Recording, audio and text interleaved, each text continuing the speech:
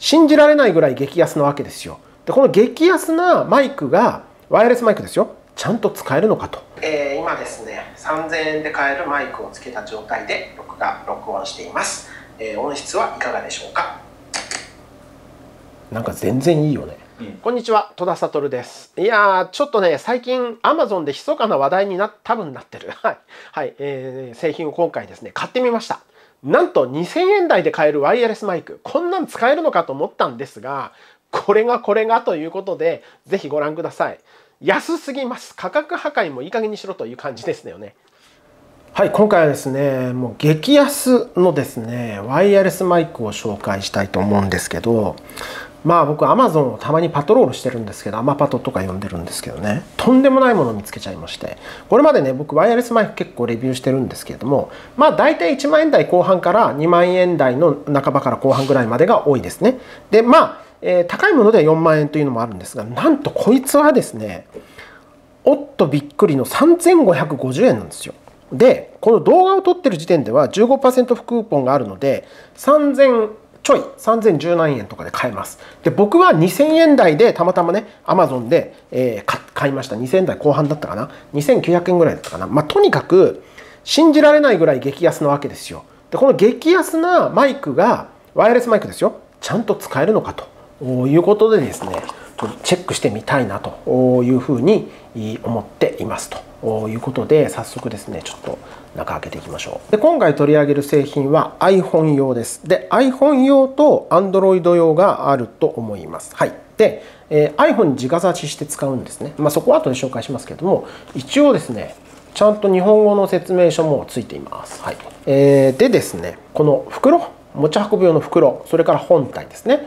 それと充電用のケーブルがついてます。はい、でですね、この製品は、えー、充電して使います。はい、ここにね、タイプ C 端子がありますけれども、タイプ C 端子ケーブルついてるので、充電して使います。えバッテリーの容量は 80mAh ということで、7時間使えるとされています。はい、で、まあ値段が値段なんで仕方ないんですが、はっきり言いますと、むちゃくちゃに安っぽいです。まあしょうがないですよね。3000円ですからね。2000円台うまくすればねで買えるのでこのクリップとかが、まあ、大丈夫なんでしょうけども僕の感覚ではちょっと壊れないかなって心配なのとやっぱりですね高級感は皆無です。なので、えー、手にした嬉しさっていうのはないのと同時にすごい不安が押し寄せてきます。ちゃんと取れんのかと。音質どうなんだという不安は当然ですがあ押し寄せてきますけれども、まあ、非常にねよく売れてるのでおそらくベストセラーのね1位になってるんですよ。ワイヤレスマイクの。まあおそらくですねちゃんと取れるんだと思いますがそれはねこれから検証していきます。でまずこの送信機側にですね充電をしてみましょう。タイプ C 端子にこうやって挿します。はい、はい、で今ここにね赤いランプがつきました。これがグリーンになればフル充電です。で多分これねこの撮影のために1日か2日前にフル充電したんですよ。なので多分90何パーセントとか80何パーセントはあのバッテリーあると思うんですがまず最初の欠点がここなんですけど7時間充電できるとはいえあと電池の残量がどれぐらいあるかがさっぱりわからないというですね。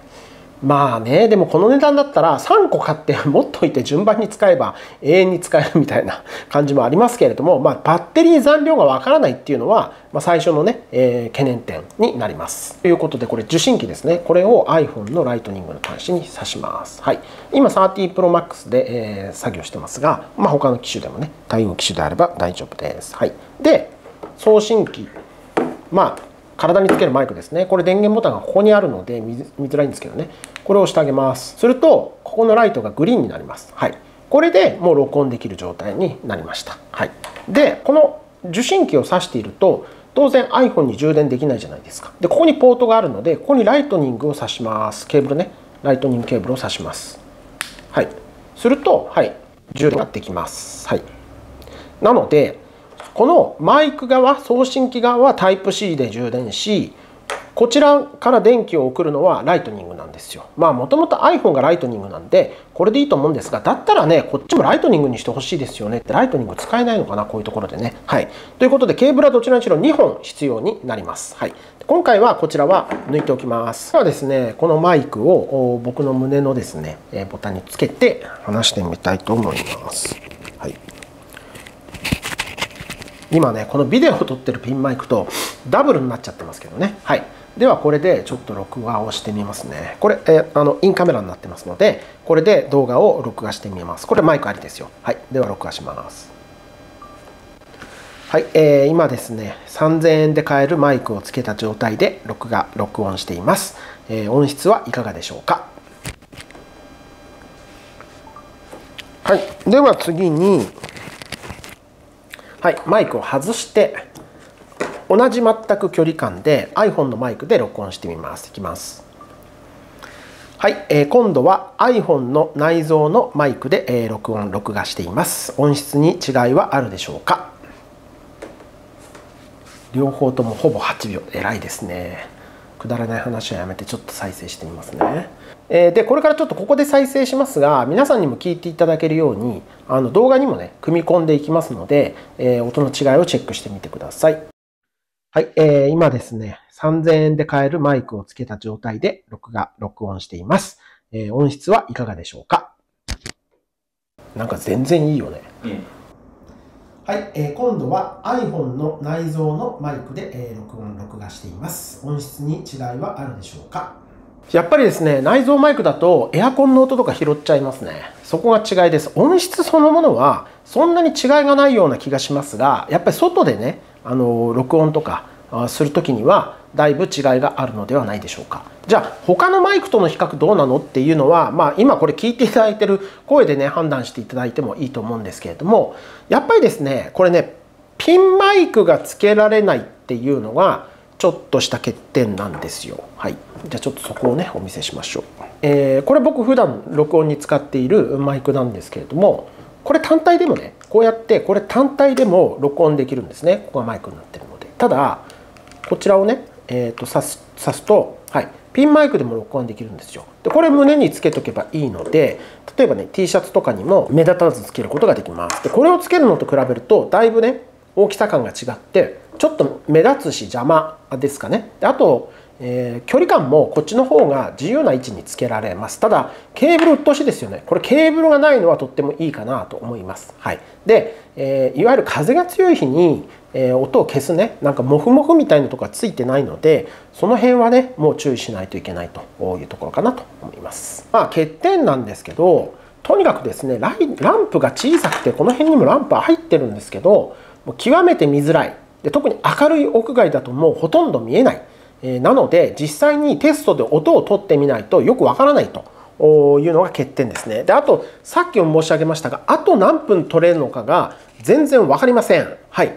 えー、でもですよ。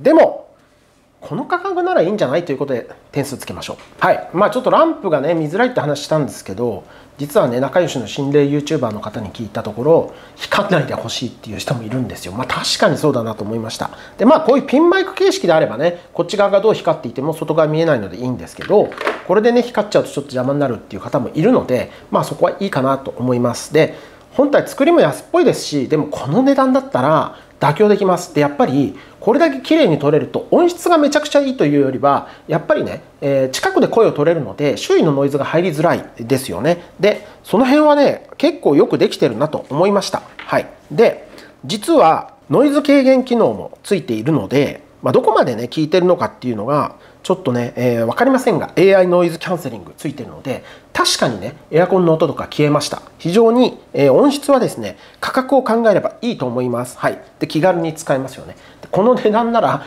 壊れてもなくしてもちょっと妥協できるかなというところで、えー、僕はですね意外に高得点75点つけたいと思います。これねワイヤレスのマイク持ってない方にはもう超おすすめです。ないよりはあった方が絶対いいです。はい。でこれを買ってみていろいろ考えてもっといいマイクを買うとかっていうこともね全然ありだと思いますし僕なんかはこのクオリティで撮れるんだったら万万が一のね壊れちゃった時用とかにもまあいいかなというふうに思っています。はい、で、えー、購入すればこれマイクが2個でも2個まで使えるんですよ。今回は1個のセットを買いましたけど2個セットでも利用できます。で実はねうんちょっとこれ僕の買ったものはリンク貼っときますけど多分 OEM と思われるほぼ同じ製品が山のようにあってどれがどれだかわからんというのがちょっとネックですが今回レビューしたのはちょっとね読み方わかんないですけどビリービリーウェイウェルっていうのかな？ビリーウェルっていうのかな？はい。今回レビューしたのはこちらですね。ビリーウェルビルウェル？ビリーウェルだよね、うん、多分ね。多分。はい。すいません。読み方わかんなくてすいません。ビリーウェルの製品です。で Android 用もあります。はい。えー、そこは一応リンク貼ってきますのでよろしければご覧ください。以上、激安のワイヤレスマイク紹介しました。まあなんか普通に使えてしまうのがちょっとね、なんかゾワゾワしますけれども、まあそれなりにね、安っぽいのでちょっと安心したりした自分がいたりします。はい。ということで、チャンネル登録、グッドボタンよろしくお願いします。メンバーシップも始めておりますので、応援よろしくお願いします。